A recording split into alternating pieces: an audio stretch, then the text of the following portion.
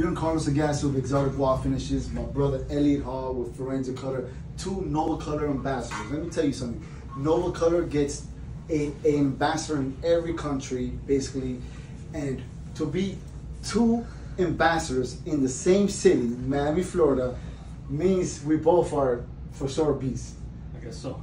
You know, the thing is that we're ambassadors of Nova Color products, meaning that what we create with Nova Color products, lime plasters, decorative plasters, we take it to a whole nother level here in the United States. To say? That's it. We try to take it to another level Guys, every day. we sell Nova Color products, we do Nova Color products, we smell it, we mix over a thousand buckets or more a year of Nova Color products. We Uh. know in, everything in and out about Nova Color products, what it's made out of, any consistency of it. We just love what we do. Thousand buckets a month to clarify. That's what I meant. Did I say it a year? I didn't say it a year. I said a year. yeah. Well, I meant meant a month. We mix thousands of buckets, guys, and we do thousands of square feet.